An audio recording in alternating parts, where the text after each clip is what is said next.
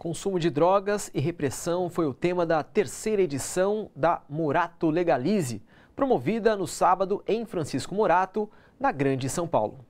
Depois de uma longa negociação com a PM, que tentava barrar a caminhada de 600 metros, o grupo saiu em passeata até a Praça do Coreto, onde foi debatida também a violência contra as mulheres.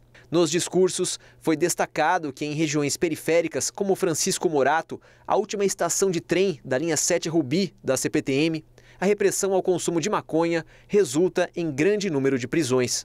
Gente, bora fortalecer a TVT? É só clicar em inscrever-se e depois clicar no sininho. Pronto! Assim que pintar notícia nova, você fica sabendo no ato.